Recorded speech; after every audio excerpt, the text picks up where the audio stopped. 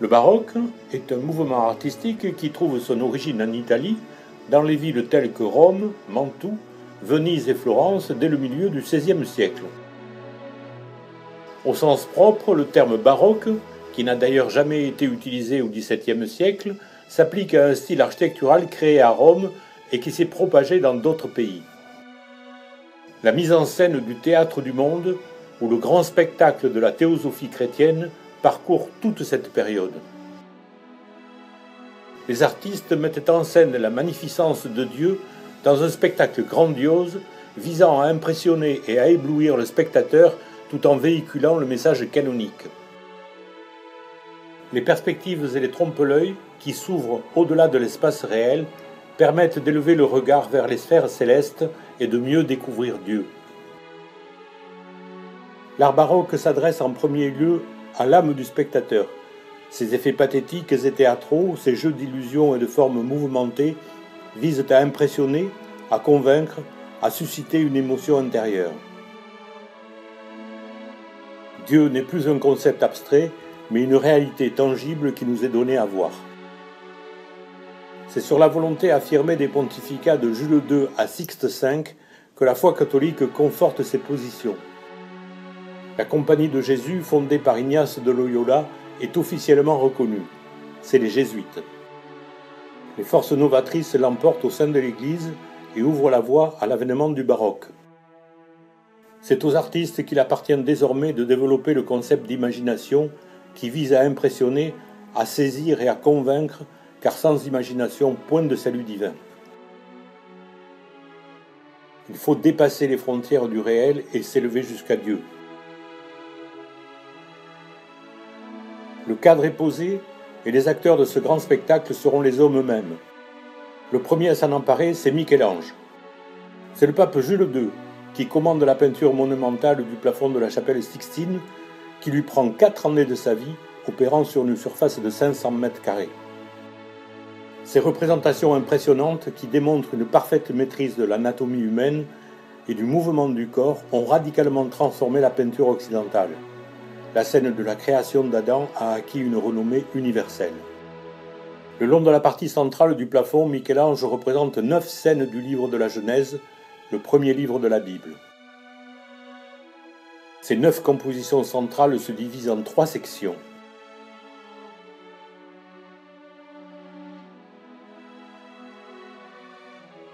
La première montre la création du monde, Dieu créant les cieux et la terre.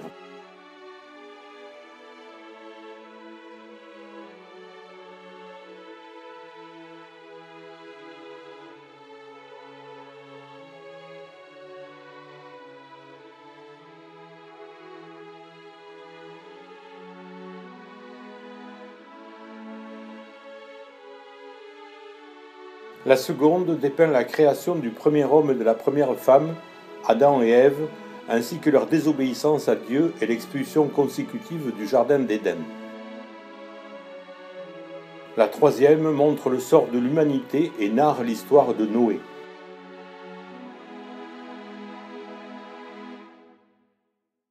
Les personnages les plus grands, donc les mieux mis en évidence, sont douze voyants, des prophètes et des sibylles choisis à dessein car ils annoncèrent la venue du Christ.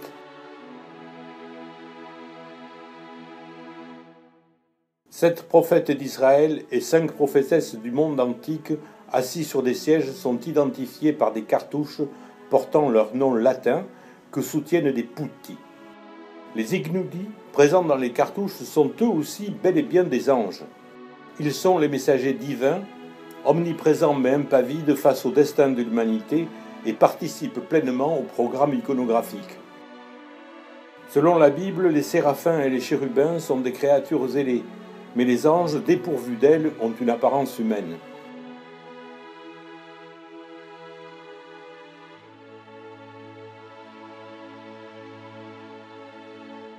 Le jugement dernier est aussi une fresque peinte par Michel-Ange sur le mur de l'autel de la chapelle Sixtine au Vatican. Ce travail lui prendra six ans il est alors âgé de 60 ans. La fresque s'étend sur 16 mètres de haut et sur 13 mètres de large. Elle a pour thème le jour du jugement dernier. Aux côtés de Jésus et de sa mère figurent les saints tenant les instruments de leur martyr, témoins de leur foi.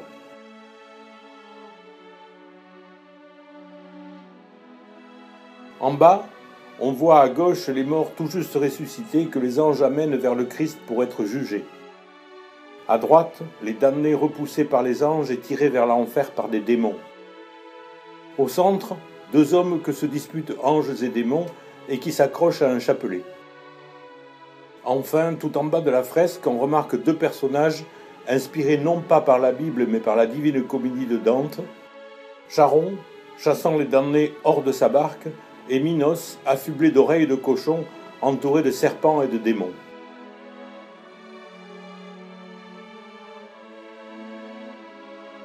L'œuvre de Gian Lorenzo Bermini, dit le Bernin, se caractérise par la recherche du mouvement, la torsion des formes, le spectaculaire et les effets d'illusion.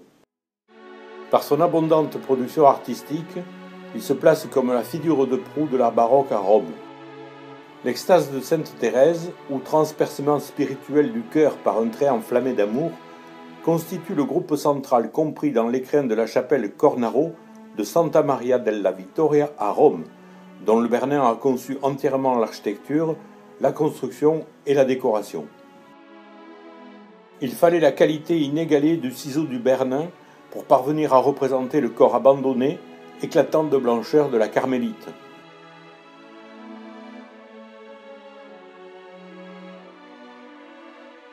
En 1655, Alexandre VII, pape humaniste et urbaniste, commande au Bernin la colonnade de la place Saint-Pierre, lequel trouve une solution urbanistique et symbolique en concevant une colonnade qui s'écarte depuis la basilique comme deux bras qui accueilleraient la foule.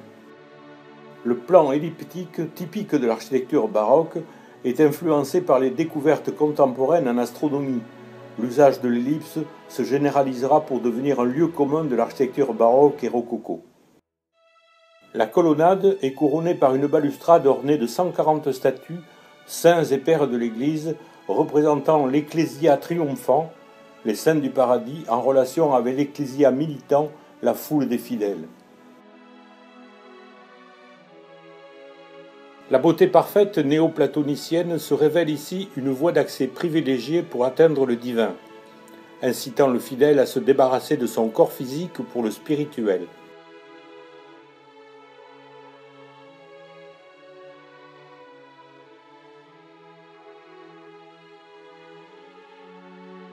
La fontaine des quatre fleuves fut bâtie par le Bernin en 1651 au centre de la Piazza Navona à Rome. Les quatre fleuves qu'elle représente symbolisent chacun un continent.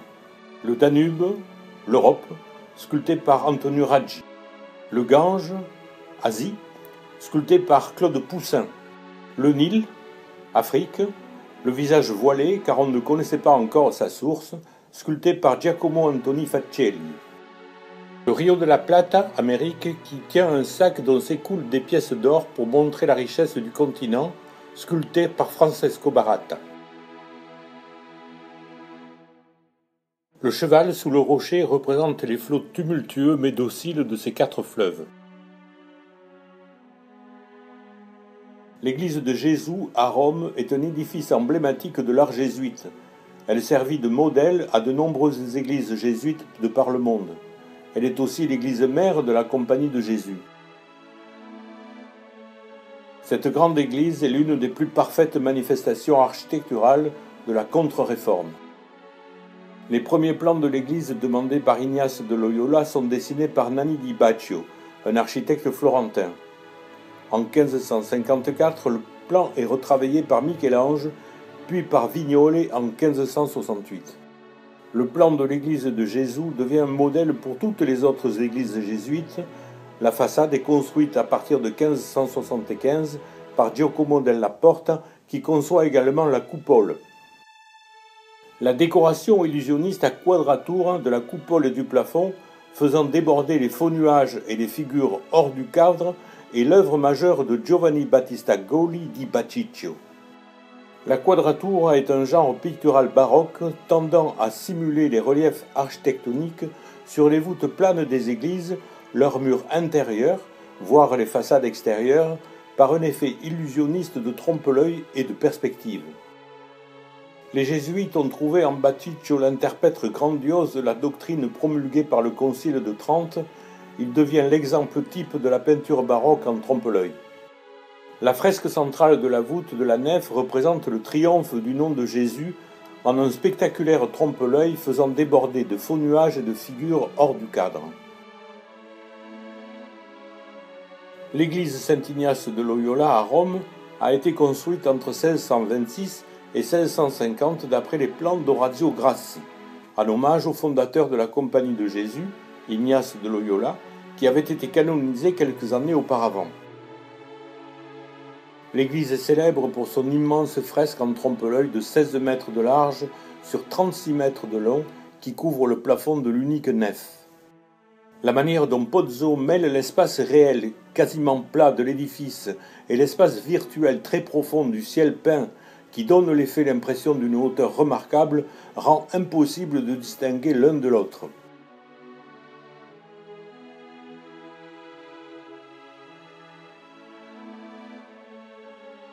L'église Santa Maria di Nazareth se situe à Venise, en Vénétie. La façade fut construite par Giuseppe Sardi entre 1672 et 1680.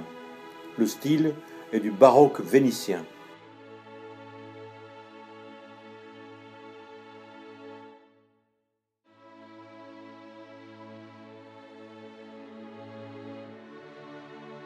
Au-dessus des orgues, une toile en lunettes représente Sainte Thérèse couronnée par le Sauveur, par Gregorio Lazzarini, qui est un peintre vénitien baroque.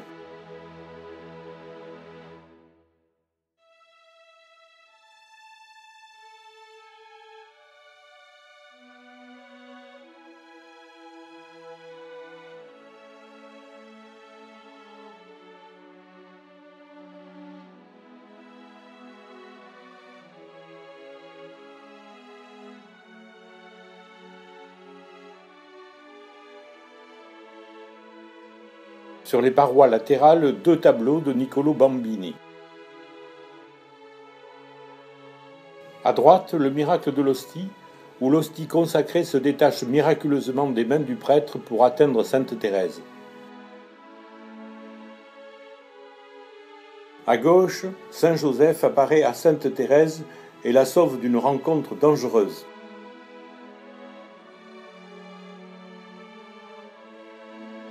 L'église Santa Maria della Pace est une église de Rome située près de la Piazza Navona. En 1656, Alexandre VII fait restaurer l'église par Pierre de Cortone. Celui-ci ajoute la célèbre façade baroque qui projette entre les ailes concaves un pronaos semi-circulaire soutenu par des paires de colonnes doriques.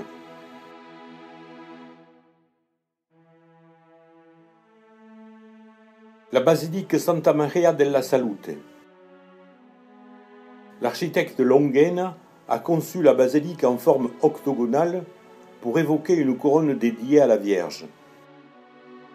L'originalité de son architecture réside dans les orecchioni, grandes oreilles en italien, volutes en spirale coiffées de statues qui assurent la transition entre le dôme et les façades.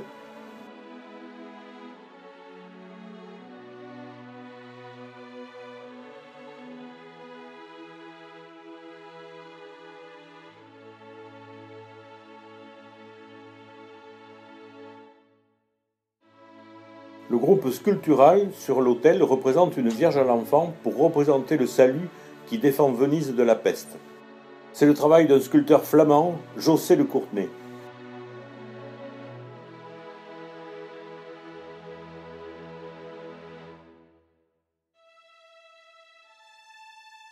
Les trois chapelles de gauche sont dédiées à la vie de la Vierge. Chaque retable reçoit une œuvre de Luca Giordano, la naissance de la Vierge, la présentation de la Vierge au Temple et l'Assomption.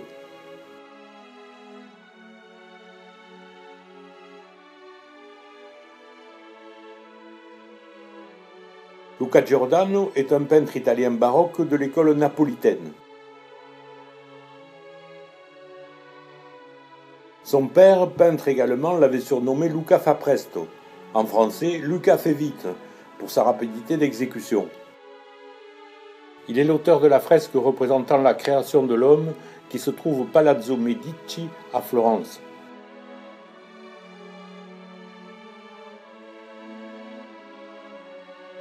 Dans la sacristie, une toile du Tintoret, les noces de Cana et la descente du Saint-Esprit du Titien.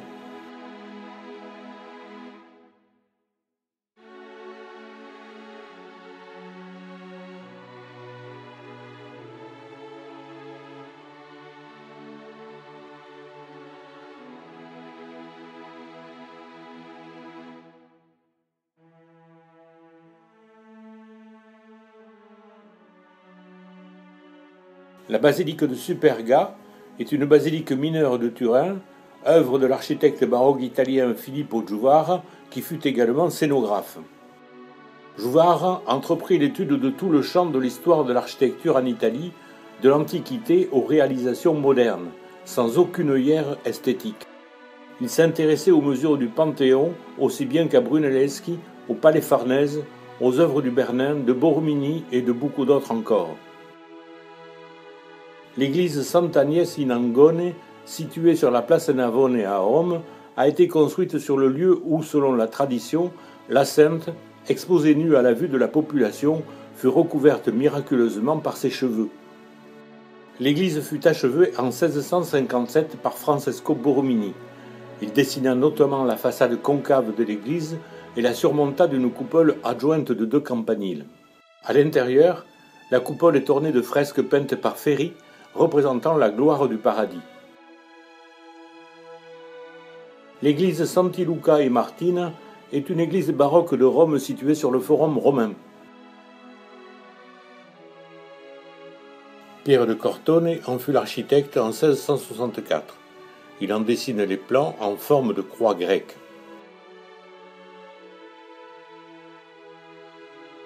La musique baroque apparaît en Italie sous l'influence du compositeur Monteverdi et de Jean-Baptiste Lully. Elle marque une rupture dans l'histoire de la musique et se termine avec les contemporains de Jean-Sébastien Bach comme George Friedrich Handel, Jean-Philippe Rameau et George Philippe Telemann.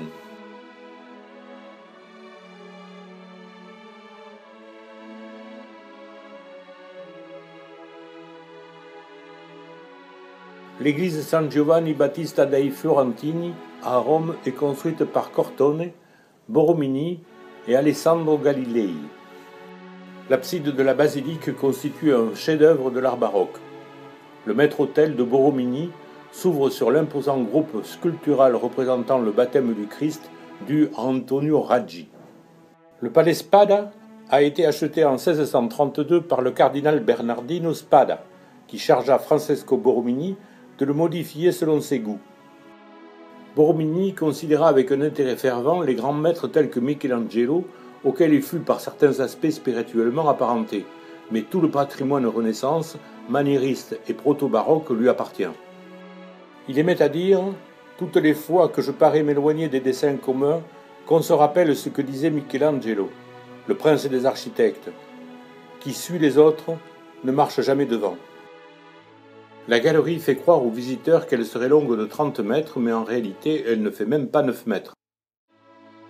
La technique employée s'appelle la perspective forcée. Les colonnes en arrière-plan sont nettement moins hautes que les premières colonnes. Le palais Barberini est dû à la commande du pape Urbain VIII. Entre 1633 et 1639, Pierre de Cortone exécute sa fresque la plus célèbre, La gloire des Barberini, qui orne le plafond du grand salon du palais. Ce décor peint est aussi appelé le triomphe de la divine Providence. Il s'agit d'une allégorie de la Providence et du pouvoir divin des Barberini. Cette grande fresque mouvementée abonde de personnages vus en contre-plongée extrême, soto in su, se tenir par-dessous, qui caractérisent ces effets illusionnistes. Elle est peinte selon les principes de l'anamorphose qui est de proposer une image qui n'apparaît sans déformation que selon un point de vue précis et déterminé. Voilà ce rapide tour d'horizon de cette première partie de la période baroque consacrée au baroque italien. Évidemment, tout cela mérite d'être approfondi et plus détaillé dans un vrai cours d'histoire de l'art.